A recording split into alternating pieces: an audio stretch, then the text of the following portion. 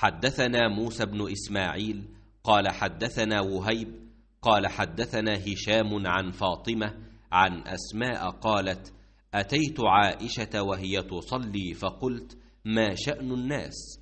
فأشارت إلى السماء فإذا الناس قيام فقالت سبحان الله قلت آية فأشارت برأسها أي نعم.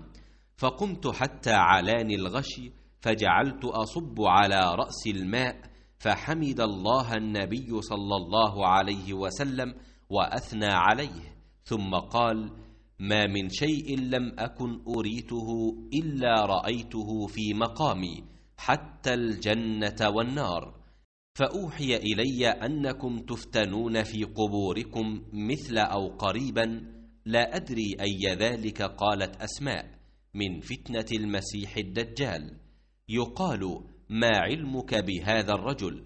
فأما المؤمن أو الموقن لا أدري بأيهما قالت أسماء فيقول هو محمد رسول الله جاءنا بالبينات والهدى فأجبنا واتبعنا هو محمد ثلاثة. فيقال نم صالحا قد علمنا إن كنت لموقنا به. وأما المنافق أو المرتاب لا أدري أي ذلك قالت أسماء فيقول لا أدري سمعت الناس يقولون شيئا فقلته.